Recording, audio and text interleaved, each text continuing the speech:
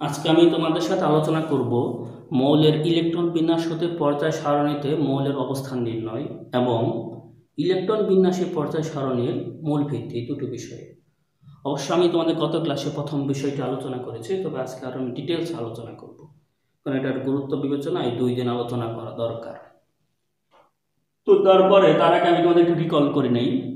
তো ইলেকট্রন সমূহ সেবাতে শক্তির ক্রমানুসারে প্রবেশ করে, অর্থাৎ যে অরবিটালের শক্তি কম, সে অরবিটালে ইলেকট্রন আগে প্রবেশ করে এবং যে অরবিটালের শক্তি বেশি, সে অরবিটালে ইলেকট্রন পরে প্রবেশ করে। তার মানে খেয়াল করে দেখো ফোর এস অরবিটালের শক্তি কম, তাই এখানে ইলেকট্রন আগে প্রবেশ করবে থ্রি ডিতে পরে করবে। ঠিক একইভাবে এরকম এখানে সজ্জিত আমি করেছি। আরেকটি বিষয় এস অরবিটালে দুইটি ইলেকট্রন পিতে ছয়টি ডিতে দশটি এফতে চোদ্দটি ইলেকট্রন যাবে। তো এখন আমি এই যে শক্তি ক্রমানুসারে প্রবেশ করি, এটা আমি সহজভাবে মনে রাখার জন্য আমি তোমাদের লিখে দিচ্ছি। খেয়াল করে তো প্রথমে আমরা দুইবার এস লিখব। দুইবার এস এস এস এস দুইবার। তারপর আমরা দুইবার পিএস পিএস লিখব। পিএস পিএস তারপর আমরা দুইবার ডিপিএস ডিপিএস লিখব। দুইবার ডিপিএস ডিপিএস তারপর আমরা দুইবার এফডিপিএস লিখব এফডিপিএস আবারও লিখব এফডিপিএস এফডিপিএস আমরা দুইবার এফডিপিএস লিখলাম। তো এখন আমরা এটাকে পূরণ করে দেবো, খেয়াল করে দেখো। One s, two s, three s, four s, five s, six s, seven s, eight s. তার পরবর্তী আমরা আবার লিখব, দেখো, যেহেতু পি যেহেতু ওয়ান পি নাই টু পি থেকে শুরু, তাহলে আমরা লিখব two p three p four p five p six p seven p তারপরে আমরা লিখব, দেখো ডি যেহেতু টু ডি নাই, তাই না? তাহলে আমাদের শুরু করতে হবে কি থ্রি ডি থেকে এখানে three d four d five d six d আচ্ছা তারপরে যদি আমাদের এফ কি থ্রি এফ কিন্তু নাই, তাই না? ফোর এফ থেকে শুরু। তো ফোর এফ ফাইভ এখন দেখো এটার সাথে এটা মিলে গিয়েছে শক্তির ক্রমানুসারে এটা আমাদের মিলে গিয়েছে তো এখন আমরা ইলেকট্রন বিনাশ করব। দেখো ওই দিন আমরা ছোট ছোট মোড়ের ইলেকট্রন বিনাশ করেছি। আজকে আমরা অধিকত যেসব পারমাণবিক সংখ্যা বেশি, তাদের ইলেকট্রন বিনাশ আজকে আমরা করব। তো তারপর আমি একটু ছোট একটু প্র্যাকটিস করে নেই। তো তার আগে একটু আমরা বলি যে রোল ওয়ানে হচ্ছে সর্ববহিষ্ঠ শক্তি স্তরে শুধু এস থাকলে সর্ববহিষ্ঠ শক্তি স্তরে শুধু এস থাকলে সেক্ষেত্রে কি হয়? এস এর যে যে কয়টি ইলেকট্রন থাকবে সেটাই তার গ্রুপ নির্ধারণ করবে। আর দুই রোল টু এ সর্ববহিষ্ঠ শক্তি স্তরে শুধু এস ও পি থাকলে, সর্ববহিষ্ঠ শক্তি স্তরে এস ও পি থাকলে এস ও পি এর সাথে টেন যোগ করতে হবে। এটা হচ্ছে দুই নং নিয়ম। তিন নং নিয়ম হচ্ছে, দেখো, সর্ববহিষ্ঠ শক্তি স্তরে এস ও তার আগের শক্তি স্তর যদি ডি হলে অর্থাৎ দেখো এন এস যদি হয় টির মান হবে এন মাইনাস ওয়ান ডি তার মানে এখানে যে ফোর এস হয়, এখানে হবে থ্রি ডি এখানে ফাইভ এস হলে এখানে হবে ফোর ডি তাহলে সেক্ষেত্রে হবে গ্রুপ নাম্বার হবে এস আর ডি এর যে ইলেকট্রন সংখ্যা থাকবে তার যোগফল। তো আমরা এখন প্র্যাকটিস করি, অনেক প্র্যাকটিস করব। প্র্যাকটিস করলে আমাদের এইসব rule one rule two rule থ্রিটা ক্লিয়ার হয়ে যাবে। আর পর্যায় সংখ্যা তো একই। সর্বোচ্চ কোয়ান্টা প্রধান কোয়ান্টাম সংখ্যা অথবা সর্বশেষ শক্তি স্তর যে, সেটাই হচ্ছে তার পর্যায় সংখ্যা। তো এখন আমরা আসি, তাহলে আমরা ইলেকট্রন বিন্যাস লিখি। আমরা যদি এখন পটাশিয়ামের লিখি, উনিশ। তো খেয়াল করে দেখো, আমরা এখানে লিখব, তো one s two two s two two p six three s two three p six তো এই পর্যন্ত দেখো, আঠারো হয়ে গিয়েছে। তো আঠারোর পরে কি উনিশ? ফোর এসে যাবে তাই না? ফোর এসে যাবে এটাই হচ্ছে পটাশিয়ামের ইলেকট্রন তো আমরা এখানে লিখতে পারি সাথে one s two two s two two p six three s two three p six four s one এটা হচ্ছে পটাশিয়ামের ইলেকট্রন এটা তো তার পরবর্তী আমরা লিখতে পারি, দেখো এখন পটাশিয়ামের কি? পর্যায় সংখ্যা কত? চার। পর্যায় চার। কারণ সর্বোচ্চ আমাদের শক্তি স্তর কি? চার। আচ্ছা তো এখন আসি আমরা, তো এখানে গ্রুপ কোনটা হবে? দেখো রোল ওয়ানের মধ্যে আছে। সর্বোচ্চ শক্তি থেকে বাইরের শক্তি স্তর শুধু এস থাকলে। তাহলে কি এটা গ্রুপ কত হবে? ওয়ান গ্রুপ হবে ওয়ান এটা, তার পরবর্তী আমরা আসি আর একটা প্র্যাকটিস করি। আচ্ছা এখন আমরা ফ্লোরিন লিখতে পারি ফ্লোরিন নাইন খেয়াল করে আমরা একটু মুছে দেই, আমরা এখান থেকে সব করব আজকে। তো এখন আসো one s two s two হচ্ছে two p six two p six হবে না, কারণ চার আর পাঁচ টু পি ফাইভ তাই না? তো এখন আমরা যেখানে লিখি, এখানে দেখো one s two two s two two p five এখানে আসো। তো এখন আসো, তো এখানে পর্যায় কি? দুই। পর্যায় দুই, কারণ সর্বোচ্চ প্রধান শক্তি স্তর কি? এখানে দুই। সর্বশেষ প্রধান শক্তি স্তর হচ্ছে দুই। বা এখানে কয়টি শক্তি স্তর আছে? দুইটি। তাহলে পর্যায় হচ্ছে দুই। তারপর এখন আসো, গ্রুপ কত হবে তাহলে? গ্রুপ। গ্রুপ, দেখো, তো এস আর পি দুই নং নিয়মে হবে। সর্বশেষ শক্তি স্তর এস ও পি থাকলে। তো সেক্ষেত্রে কি হয়? এস পি এস আর পি দেখো, দুই প্লাস পাঁচ। সাথে কি করতে হয়? দশ যোগ করতে হয়। তো পাঁচ আর সাত আর দশে সতেরো। তাহলে গ্রুপ কত হবে? সেভেন্টি দেখো ফ্লোরিন তোমরা পর্যায় নিয়ে বের করে দেখো। পর্যায় দুই গ্রুপ সতেরো। এখন আসি আমরা, পরবর্তীতে আমরা আসি। তো ফ্লোরিনের পরে আমরা এখন আসি রুবিডিয়াম রুবিডিয়াম থার্টি সেভেন এটা আমরা বের করব। রুবিডিয়ামের পারমাণবিক সংখ্যা কত থার্টি সেভেন এটা আমরা ইলেকট্রন বিন্যাস করি। তো দেখো, তো আমরা কীভাবে এখান থেকে আসি? তো টু পি সিক্স কারণ এই পিতে সর্বোচ্চ ছয়টি থাকে। তারপর কি three s two three p six four s two three p ten এই পর্যন্ত কত হয়? ত্রিশ হয়। তারপরে আমরা আসতে পারি four p six five s one ছয় আর একে সাত। থার্টি সেভেন হলো তো এটা এখন আমরা সাজিয়ে লিখি। One s two two s two two p six three s two three p six three d ten three d ten তারপরে হচ্ছে four s two four p six five s one এখন আসলে এখানে পর্যায় আর গ্রুপ আমরা বের করি। পর্যায়। পর্যায় হবে ফাইভ গ্রুপ কত হবে তাহলে এখানে? দেখো কোন নিয়মটা করবে? রুট ওয়ান টু না থ্রি ওয়ান হবে, কারণ সর্বশেষ শক্তি স্তর শুধু এস যদিও এখানে ডি আসতে হবে না। তাই না? যদিও পি আসতে হবে না, কারণ কি? সর্বশেষ শক্তি স্তর হচ্ছে ফাইভ এখানে তার মানে এক নং নিয়ম হবে। তাহলে কি গ্রুপ কত হবে? ওয়ান তো তোমরা পর্যায় সারণীটা বের করে দেখো বাষট্টি পৃষ্ঠায়, যে কি হবে? পর্যায় পাঁচ গ্রুপ ওয়ানের মৌল হচ্ছে রুবিডিয়াম আচ্ছা এখন আমরা রুবিডিয়ামের পরে আমরা আসতে পারি সিলভার বা ক্রিপ্টনে আসতে পারি। আমরা ক্রিপ্টনটাকে একটু করে নিই ক্রিপ্টন ক্রিপ্টন থার্টি সিক্স তো ঠিক একইভাবে খেয়াল করে দেখো ফোর এস টু এই পর্যন্ত কি? ত্রিশ। তাই না? ত্রিশ আর ছয় কত? ছত্রিশ।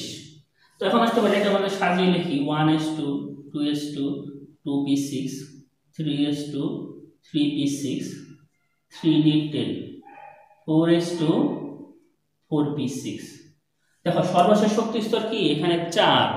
অর্থাৎ প্রধান শক্তি স্তর হচ্ছে, সর্বশেষ প্রধান শক্তি স্তর হচ্ছে চার। তো তাহলে এখানে কি পর্যায় কত হবে?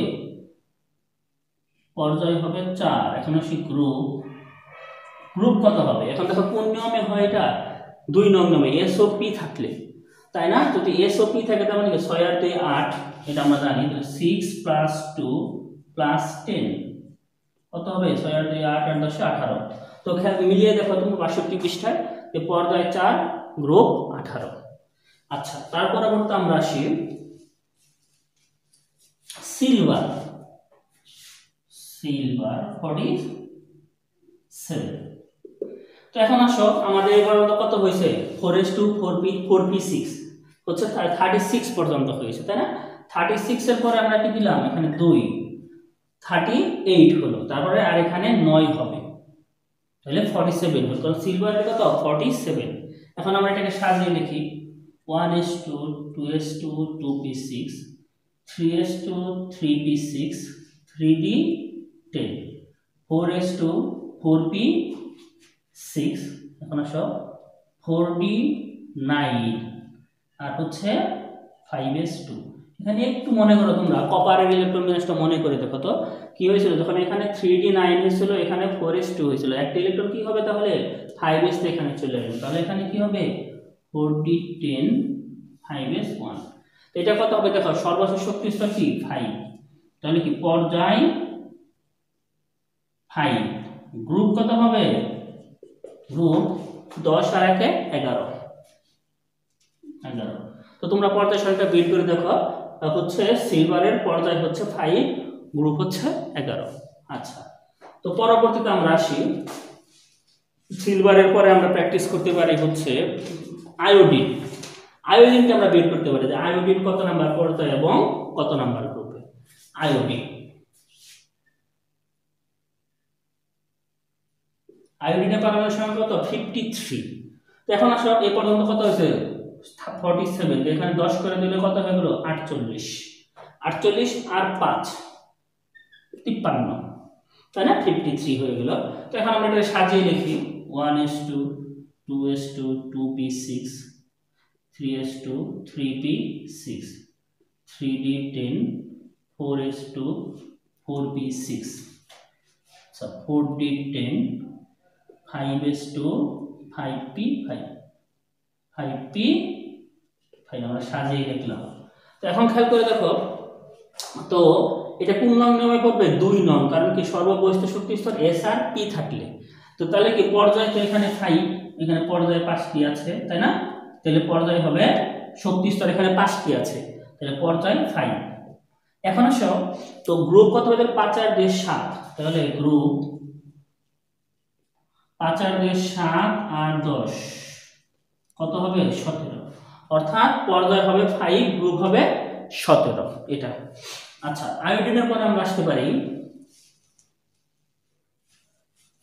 বেরিয়াম বেরিয়াম কি? ফিফটি সিক্স পারমাণবিক সংখ্যা।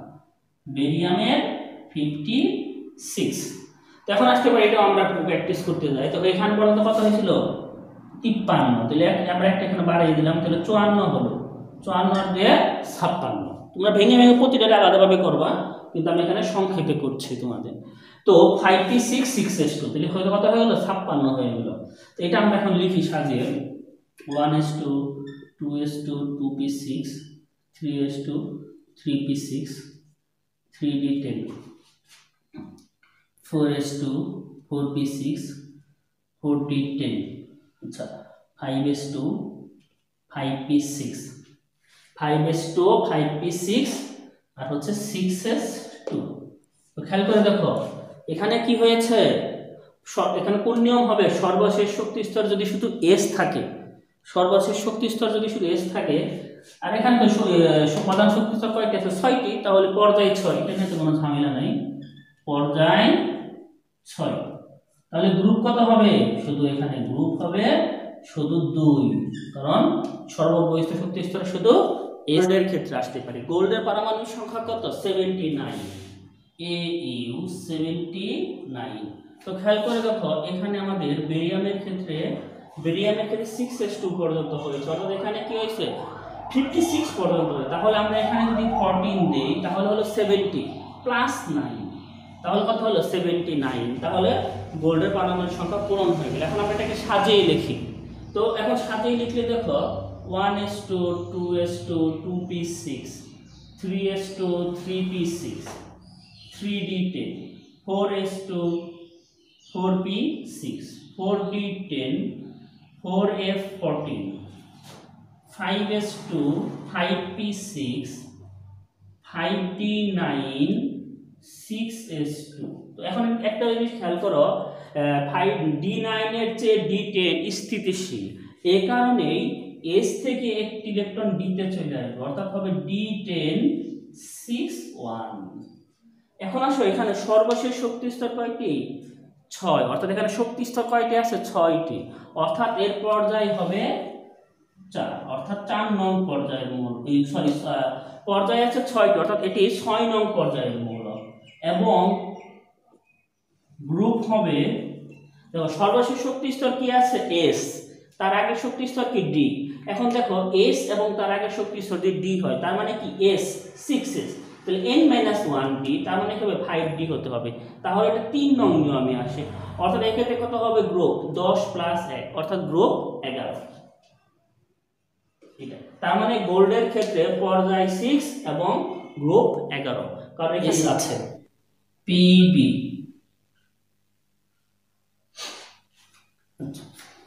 গোল্ডের পরে আমরা প্র্যাকটিস করতে পারি লেট তার পারমাণবিক সংখ্যা হচ্ছে এইটটি টু এখন আসতে পারি আমরা, তাহলে এটা আমরা লিখি খেয়াল করে দেখো, এই পর্যন্ত কত হয়েছিল?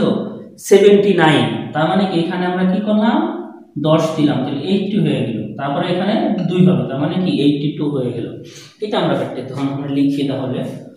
One s two two s two two p six three s two three p six three d ten four s two four p six four d ten four এর চোদ্দ five s two five p six আচ্ছা five d ten তারপরে হচ্ছে six s two six p two খেয়াল করে six দিয়ে দেখো কি আছে?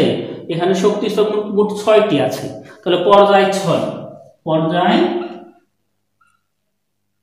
এখানে সিক্স তাহলে গ্রুপ কত হবে? খেয়াল করে দেখো, এখানে গ্রুপ হবে, খেয়াল করে দেখো।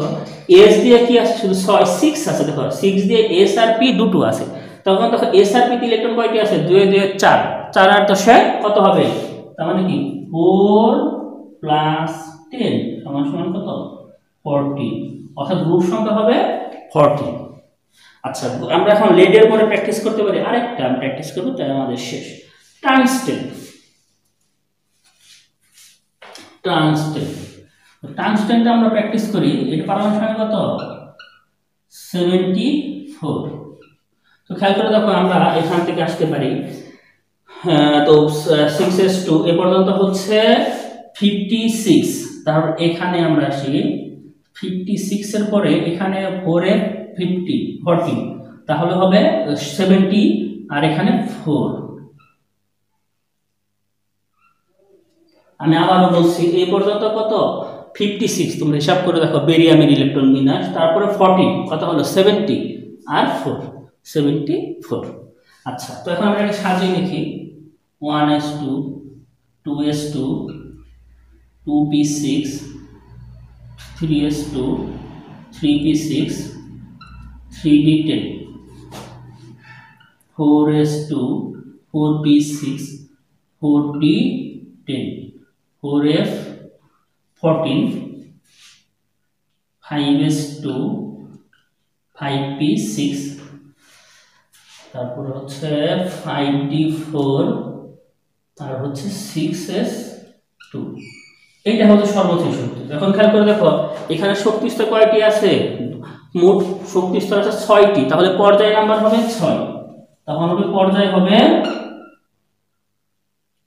পর্যায় হবে সিক্স এখন খেয়াল করতে পারো স্যার, এখানে বলতে পারো যে ফোর কেন ফাইভ হলো না? এখানে তো ওয়ান হয়ে এখানে ফাইভ হতো। আসলে কি লাস্টের দিকে ইলেকট্রন মিনার এগুলো আহ্বানিত সবগুলো মেনে চলে না। একটু ব্যতিক্রম হয় এখানে ফোরই হবে, এখানে টুই হবে। এখন আসলে তারপর আমাদের গ্রুপ সংখ্যা কিন্তু ভিন্ন হয় না, কারণ চার আর দুই ছয় অথবা পাঁচ যোগ এক ছয় একই হয়। এখন আসলে গ্রুপ গ্রুপ কত হবে তাহলে? গ্রুপ হবে দেখো, খেয়াল করে দেখো, চার আর দুই এক ছয়, কারণ কি এটা কয় নাম্বার নিয়ম হবে? দুই নং নিয়ম হবে। সরি তিন নং নিয়ম হবে এটা। এস এর আগে যদি ডি থাকে, তার মানে কি? চার আর দুই ছয়। অর্থাৎ এখানে গ্রুপ নাম্বার হবে ছয়। তো এটাই হচ্ছে মোটামুটি, এগুলো আমি তোমাদের প্র্যাকটিস করলাম, তোমরা আরও বেশি প্র্যাকটিস করো ইলেকট্রন পর্যায় সরণিতে যে কোনো একটা মৌল নিয়ে তার ইলেকট্রন বিনাশ করে দেখো তোমার ইলেকট্রন বিনাশ করার পর তার সাথে গ্রুপ পর্যায় এবং গ্রুপ মিলে কিনা। এখন তোমাদের সাথে আলোচনা করব হচ্ছে ইলেকট্রন বিন্যাসী পর্যায় সারণীর মূল ভিত্তি, এই বিষয়টা আচ্ছা পর্যায় সারণী যখন প্রবর্তিত হলো আঠারোশো উনসত্তর সালের পরে, তো আসলে কি কিসের উপর ভিত্তি করে পড়বে প্রথমে হলো পারমাণবিক ভর। তারপরে উনিশশো তেরো সালে মুসলে প্রতি পারমাণবিক সংখ্যা। তার পরবর্তীতে মৌল সংখ্যা সাজানো হলো ইলেকট্রন বিন্যাস অনুযায়ী। তো আমরা একটু দেখি, তার মানে আমরা তিনটা জিনিস পেলাম, অর্থাৎ পারমাণবিক ভর। দুই নং পয়েন্ট, পারমাণবিক সংখ্যা। তিন নং পয়েন্ট হচ্ছে ইলেকট্রন বিন্যাস। ইলেকট্রন বিন্যাস। তো পারমাণবিক ভর অনুসারে সাজাতে গিয়ে তো আমাদের এই তিনটা পয়েন্টের মধ্যেই হবে আমাদের পর্দা সারণীর মূল ভিত্তি। তো আমরা এক নং পয়েন্টে আসি। তো পারমাণবিক ভর অনুসার সাজাতে গিয়ে কিন্তু আমরা অনেক প্রবলেম ফেস করলাম, তাই না? পটাশিয়াম, আর্গন, আয়োডিন, টেলুরিয়াম এসব ক্ষেত্রে দেখা গিয়েছে যে পারমাণবিক ভর অনুসারে সাজালে তাদের ধর্মের মিল করানো যায় না। অর্থাৎ সেক্ষেত্রে কিছু বিচ্যুতি ঘটে। তো তো তারপরে আরও কিছু প্রবলেম আছে। সেখানে আইসোটুপের প্রবলেম দেখা দেয়, তাই না?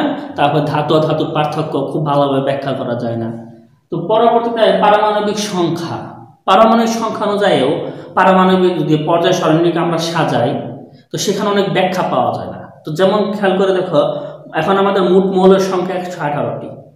তো এখন যদি প্রশ্ন করা হয় তাহলে প্রথম পর্যায়ে কেন মাত্র দুইটি মৌল? কারণ সাতটি পর্যায়ে মৌল হচ্ছে একশো আঠারোটি।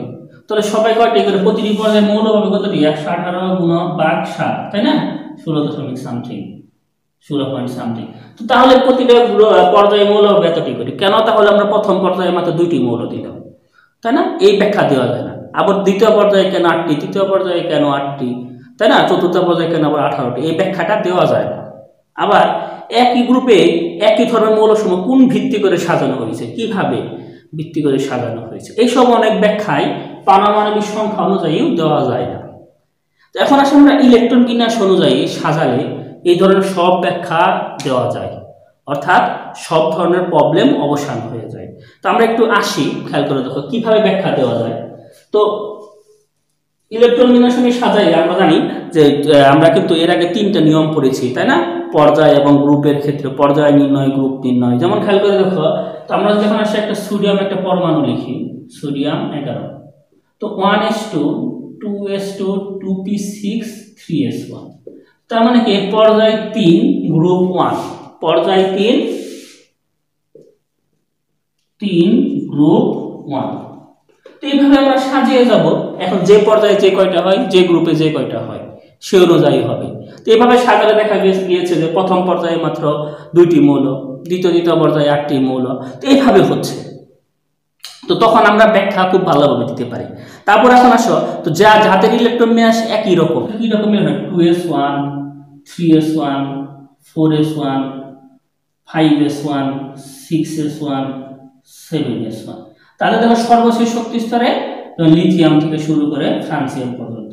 তাদের সর্বশেষ শক্তি স্তরে ইলেকট্রন নিয়ে সেই রকম যদি আমরা সপ্তম কি সতেরো নং গ্রুপে আসি, সতেরো নং গ্রুপে দেখো তাদের ইলেকট্রন নিয়ে সেই হয়। Two s two two p five three s two three p five এটা ফ্লোরিন এটা হচ্ছে ক্লোরিন তারপরে ব্রোমিনে আসো। Four s two four p five তারপরে আয়োডিন আসো five s two five p five তো তাদের ইলেকট্রন গ্যাস কি হবে? আয়োডিন তারপরে অ্যাস্টেটিন তার six s two six s six p five তো তার মানে কি তাদের একই গ্রুপের মৌল সময়ের ইলেকট্রন বিন্যাস একই রকম? এই কারণে আমরা তাদের এই ব্যাখ্যা আমরা দিতে পারি, যেহেতু তাদের ইলেকট্রন বিন্যাস একই রকম এই কারণে তারা একই গ্রুপে। কিন্তু পারমাণবিক সংখ্যা অনুযায়ী সাজালে এই ব্যাখ্যাগুলো দেওয়া যেত না। ঠিক আছে? তার মানে আমরা ইলেকট্রন বিন্যাস হতে একটা মৌল কোন পর্যায়ে এবং কোন গ্রুপে বসবে সেই ব্যাখ্যা আমরা দিতে পারছি। এবং কত ন, কতটি পর্যায়ে এবং কতটি গ্রুপে কতটি মৌল হতে পারে সেই ব্যাখ্যা আমরা দিতে পারছি। কারণ ইলেকট্রন বিন্যাস অনুযায়ী আমরা সাজিয়ে তারপর বলতে পারছি। তারপরে কেন তারা একই গ্রুপে তাদের ইলেকট্রন বিন্যাস একই রকম, তা এই কারণে তারা একই গ্রুপে এই ব্যাখ্যা আমরা দিতে পারি। ঠিক আছে, এখন আসতে পারো তো তাদের ধর্ম ব্যাখ্যা করা যায়। ধর্ম ব্যাখ্যা করা যায় কীভাবে? অর্থাৎ কোনো মৌল ইলেকট্রন যৌগ গঠনের সময় ইলেকট্রন ত্যাগ করবে না গ্রহণ করবে, সে ব্যাখ্যা দেওয়া যায়। বা কোনো মৌল ধাতব ধর্ম ব্যাখ্যা করা যায়, অধাতব ধর্ম ব্যাখ্যা করা যায়, এই ইলেকট্রন বিন্যাস থেকে। যেমন আমরা একটা সহজে বলতে পারি সোডিয়াম যদি আমরা নেই সোডিয়াম মৌল, তার পারমাণবিক সংখ্যা হচ্ছে এগারো। One s two two s two two p six three s one এখানে দেখো সর্ববৈশিষ্ট্য মধ্যে একটি ইলেকট্রন আছে। তো আমরা জানি যৌগ গঠনের সময় সে অষ্টক পূরণ করতে চায় কারণ সে একটা ইলেকট্রন ত্যাগ করে। তাহলে সোডিয়াম কি করে? একটা ইলেকট্রন ছেড়ে দেয়। একটা ইলেকট্রন ছেড়ে দেয়, তার মানে কি? সোডিয়াম, ধাতু সেই কারণে একটা ইলেকট্রন ছেড়ে দিচ্ছে। তার মানে তার মানে আমরা বলতে পারব সোডিয়ামের গ্রুপে যে মৌল আছে সবাই ইলেকট্রন ত্যাগ করবে। তো মানে সোডিয়াম পটাশিয়াম রুবিডিয়াম তারা ইলেকট্রন ত্যাগ করবে, অর্থাৎ তারা ধাতব ধর্ম প্রদর্শন করবে। আবার যদি আমরা সেখন গ্রুপ সতেরোর মৌলের ক্ষেত্রে দেখো chlorine one s two two s two two p six three s two three p five এখানে দেখো সর্ববৈশিষ্ট্যের মতো সাতটি ইলেকট্রন আছে। তো কি হবে? এখানে যদি আমরা আর একটি ইলেকট্রন থাকে। তো আরেকটি ইলেকট্রন থাকলে কি হবে? সে অষ্টক পূরণ হবে। সে কারণে সে কি করবে? একটি ইলেকট্রন গ্রহণ করবে। তো কি হবে? তখন কি হবে? দুই আট আট হয়ে যাবে। তার মানে বলতে পারছি, কোন ক্ষেত্রে কোন মৌল ইলেকট্রন গ্রহণ করবে এবং কোন ক্ষেত্রে কোন একটা মৌল ইলেকট্রন ত্যাগ করবে এবং কোন ক্ষেত্রে কোন একটা মৌল ইলেকট্রন গ্রহণ করবে, তা আমরা ইলেকট্রন বিন্যাস থেকে সহজেই ব্যাখ্যা করতে পারি। অর্থাৎ তার ধর্ম আমরা সহজেই ব্যাখ্যা করতে পারব। তো তার মানে বলা যাচ্ছে যে ইলেকট্রন বিন্যাসই পর্যায় সারণীর মূল ভিত্তি। যদিও পারমাণবিক ভর, পারমাণবিক সংখ্যা অন্যতম একটা ভিত্তি, তবে মূল ভিত্তি হচ্ছে ইলেকট্রন বিন্যাস। কারণ ইলেকট্রন বিন্যাস থেকেই কোনো